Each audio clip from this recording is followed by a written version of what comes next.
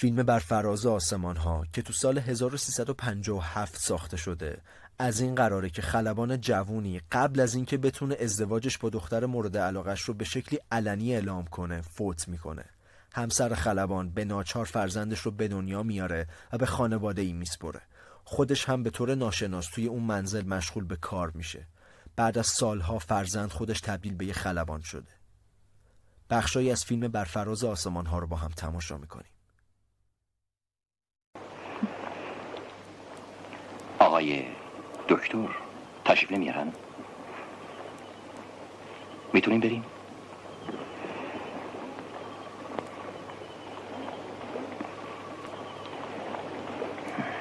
می‌دونی آمنه. راستش مدت هاست که از اون بالاها آرزوی یه همچین ساعتی رو داشتم که در کنار تو باشم. به معنی دیگه آسمونا میگشتم و روی زمینا پیدا کردم. منظورم دختریه که به زندگیم جلوه دیگه ای میبخشه. دختری که نگاهش قلبم رو میلرسونه دلم می‌خواد تو چشمات نگاه کنم و ساعتها باش حرف بزنم.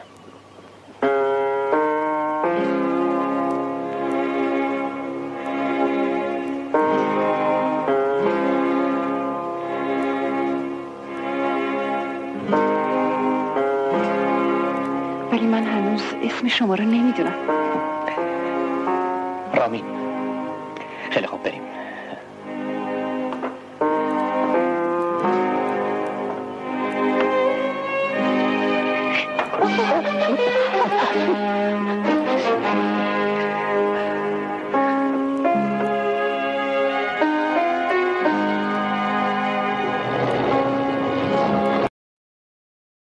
فیلم کمدی مرغ همسایه که تو سال 1353 ساخته شده راجب ژاله با بازی شورانگیز تبا و برادرش اسماعیل با بازی علی میریه که توی یه خونه اجاره‌ای زندگی می‌کنن. جمشید قصاب محل با یه مرد چشمچرون و یه جوون دانشجو به اسم حسن خودشونو برای خواستگاری ژاله آماده می‌کنن. اسماعیل مقروزه و مرد چشمچرون اونو از دست طلبکارا نجات میده. این مرد تعهد می‌کنه که بدهیای اونو به شرط ازدواج با ژاله پرداخت کنه. بخشهایی از این فیلم رو با هم تماشا می‌کنیم. تو مختصری بود. قبل شما رو نداشت چی بکنیم؟ یه وشگی سرتای شما بردیم ده. ما فقیر فقرا وقتی پول نداریم یه وشگی عروسی می‌کنیم. خب دومات. کی باشه؟ خودم با بله. چی؟ داماد؟ گفتین داماد؟ من که نیستم من جزو شهود عقدم مگه نه اسمال آقا بله مگه آدم قد آدم تو رو داماد بگیرد. بله زن حاجی جان بنده از حاجی آقا خواهش کرده بودم بیاد اینجا یه قده برای ما شهادت بدد بله. پرسیدم دومات کی باشندشون؟ اسمال آقا اگر که بگم. داماد گفتین د- داماد داماد. بله دومات داماد داماد ده پرسیدم دومات بله. کیان؟ اه، ده چرا داماد- نمیگوی دومات کیه؟ چشمون دست بچه اینا بفرما داماد مثل شاخه چنار درخت آمد ها؟ شم نیکو آخه تو دو ساعت کجایی نامرد ناکس مرد؟ معلق بنده بودی یعنی من داماد بودم خبر اوسپ برو اونجا روی صندلی بنشین تا آمادگی داماد شدن رو پیدا کنی آقا بیا تو رو عقد بکنه. بنشین روی صندوق ببینم تکان نخور از این اینجا مقام داماد توی نکنه بنشین میزن توی سلکولت تا گوشت برده انگاری تا آقا بیاد خیلی ماتلی داره را بیافت بریم خونه ببینم خونه من نمیام من می‌خوام شهادت بدم هفتاد سال سیاه شهادت ندهی به تو چه مرد مزن دومات خوشگلی پس با من شوخی داشتی گوش کن ها خب همه چیزی نگهدار بیا. ساعت دوی بعد از نفس شب که همه خوابن من بقیه پول بودی خیلی خوب میدم. باشد بعد از من. یادت نره ده. نمیره تا میای بریم یا خیلی باز داری ببخشید آقا پر من می‌کنی؟ خیلی شرمندم به جان خودم. برو تو. بفرمایید. فیلم شب آفتابی که تو سال 1356 ساخته شده. از این قراره که نصرت بعد از آزادی از زندان با دوستش قوام قرار می‌ذاره تا قوام کسی که به نامزد نصرت حد که حرمت کرده رو به قتل برسونه. نصرت هم در عوض عموی قوام رو که ثروت پدرش رو بالا کشیده و قصد داره با مادرش ازدواج کنه بکشه. بخشایی از فیلم شب آفتابی رو با هم تماشا می‌کنیم. زیاد طولش ندید نه فقط چیز میزم و وردارم بریم چی شده؟ باز که سگ شدی؟ آخه دلم شور می‌زنی نصرت واسه چی؟ چه می‌دونم اگه بعدا بفهمم چی بفهمه؟ چه می‌دونم هر چی باشه تو یه نفر رو کشتی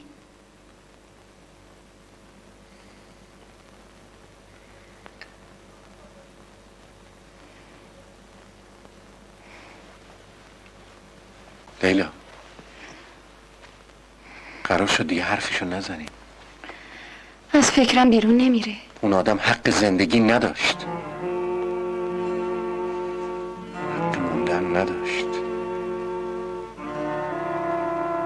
تنها چیزی که حقش بود مرگش بود. درست مثل سلیمان. سواب بود اگه یه نفر از رو زمین ورش می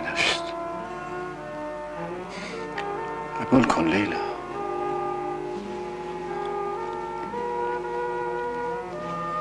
حالا نمی‌خوام نگران چیزی باشی.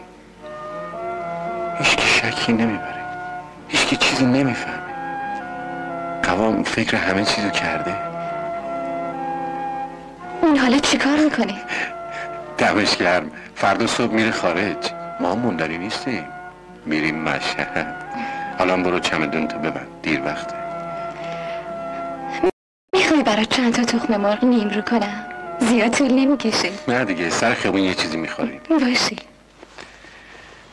لیلا. دوستت دارم لیلا. می‌خوام بهت بگم اگه تو نباشی هیچی تو دنیا نیست که بهش دلمو خوش کنم. راست میگم. توی فیلم لج و لج بازی رحمت با بازی نصرت الله وحدت راننده است و همسرش افت با بازی ژاله کریمی با کارش مخالفه. این مخالفت هم کارشون رو به دعوا میکشونه. تا اینکه داش غلام برادر افت آشتیشون میده. رحمت رانندگی یه زن جوون به اسم فیروزه را قبول می‌کنه و سمدم با خبرچینیاش از نو رابطه این زن و شوهر رو به هم می‌زنه. بخشهایی از این فیلم رو با هم تماشا می‌کنیم. که کوچولوها رفتن براتون آجان آوردن. به به به.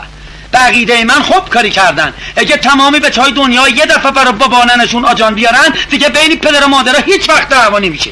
اگه صد تا پاسبونم برای من و رحمت بیارن زندگی ما درست بشو نیست. چرا درست بشو نیست؟ چرا با همین طور می‌کنی؟ میگه شما سگ و گدا هستین که نمی‌تونین با هم زندگی کنین. نه داداش من گدا نیستم اما رحمت واقعا سگه. اونه که منو اذیتم می‌کنه. آقا رحمتم که بی خود سگلی میشه لابد تو هم اذیتش می‌کنی. من چه اذیتی بهش می‌کنم؟ من شوهرمو دوست دارم اما اونه که همیشه از من فرار می‌کنه. خب اون کارش فرار کردنه. اون شب و روز باید تو بیابونا دنبال نون بدوه. ولی من این نونو نمی‌خوام. دلم می‌خواد شوهرم شب و روز پیش من باشه. آخه این که نمیشه شوهرت شب و روز تنگی بغلت باشه. دیگه جون و جیریق براش نمونه. تو داداش منظور منو نمی‌فهمی. من دلم می‌خواد شوهرم تو شهر کار بکنه. صبح بره شب بیاد. نمی‌خوام چند روز چند روز بره تو بیابونا و گم و گور بشه. می‌دونی چرا؟ برای اینکه من بهش سوء زن پیدا کردم. زن داری؟ یعنی رحمتی؟ حاشیه میره؟ نم کرده زیر سر داره؟ البته سلامتی یه چیزایی به من گفته است. اما نمی‌تونم باور کنم که رحمتی یه همچین بشری باشه. قصه نخور آباجی به خدا اگه بفهمم که رحمتی به تو خیونت کرده است خودشو نم کرده شو به سلا فیلم فرید از قشنگ با بازی منوچهر وسوق و شورانگیز تباتبایی محصول سال 1356 داستان راجع به جوون بیلیارد بازی به نام فرید از قشنگه که منتظر دختر محبوبش پری از فرنگ برگرده و باش ازدواج کنه. مردی به اسم ایرج که پری و هنگام بازگشت به ایران همراهی می‌کنه تصمیم داره با پری ازدواج کنه. ایرج که تو ایران همسر داره و ثروت اونو تصاحب کرده توی فرودگاه بازداشت میشه. از طرفی پری که از ایرج بار داره روی بازگشت به خونه پدرش رو نداره. بخشهایی از این فیلم رو با هم تماشا می‌کنیم. کی بیاد؟ سرکار جان اونم من کشیتمش دارا بیرامی یا سرکار من خودم کشتمش. علی کی میگه جناب سروان؟ اصلا به قیافه مظلوم و مهربون این میاد که بتونه حتی یه موریچه رو بکشی؟ لامروفت بیرامی یا سرکار. من خودم خودم کشتمش. خودم خودم. سرکار این نمی‌فهمه چی میگه. تو رو چه به این کارها پسر دروغ زن چرا پرت و پلا میگی؟ تحویلم کن بابا حوصله داری. ای دیگه چه جانوریه زندانیا شما همینه بله جناب سروان ازتون متشکرم. خواهش می‌کنم وظیفه ما بود. زندانیا تحویل شما هستن. بیایید بریم سراغ بقیه. ما توا کن سرکار جان. وا کن اخماته.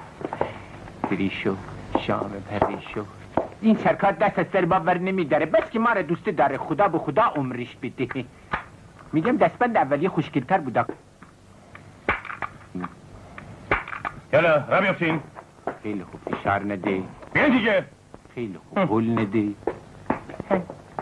چرا این کارو کردی؟ چرا رضای نارضا؟